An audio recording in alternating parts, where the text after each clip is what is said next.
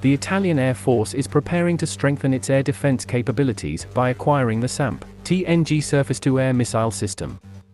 This acquisition will bring it alongside the ranks of the French Air Force and other branches of the Italian military, which are already equipped with SAMPS-T, an air defense system developed jointly by MBDA and Thales, forming a Franco-Italian consortium.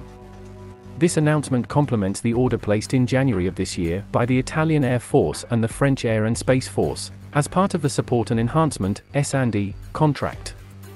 Air Recognition reported this information on May 16, 2023. The European Organization for Joint Armament Cooperation, (OCCAR) has modified the S&E contract to include the Italian Air Force as the latest user of Eurosam.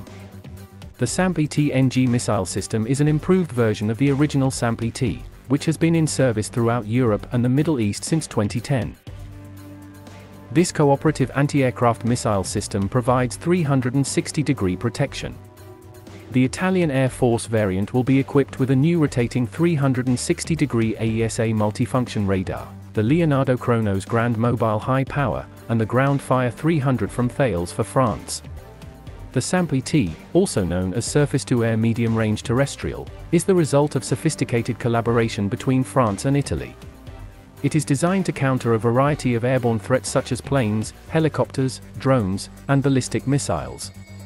The system is equipped with the Aster 30 missile, providing an operational range of approximately 120 kilometers and altitude coverage of up to 20 kilometers. Its multifunction radar, Arabel, can track up to 100 targets simultaneously and can launch up to 8 missiles rapidly to address individual or group threats. With such advanced capabilities, the SAMP-T represents an essential addition to any air defense strategy.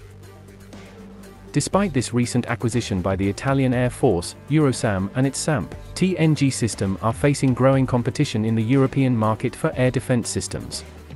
In particular, the IRIS-T SLM, an air defense system developed by Diehl Defense in 2022, is gaining popularity throughout Europe. The IRIS-T SLM offers 360-degree protection and high mobility, making it an attractive option for many European countries. Germany recently donated this system to Ukraine, and negotiations are underway with Estonia and Latvia for a joint acquisition of the system. While Eurosam remains a favored choice for some European countries, the IRIS-T SLM is gaining recognition and demand in the European air defense system market. This competition is expected to continue influencing the acquisition decisions of European countries in the near future. However, the armed forces of France, Italy, and the Royal Navy of the United Kingdom, members of the Franco-Italian Eurosam consortium since 1996, are likely to remain loyal to this advanced technology.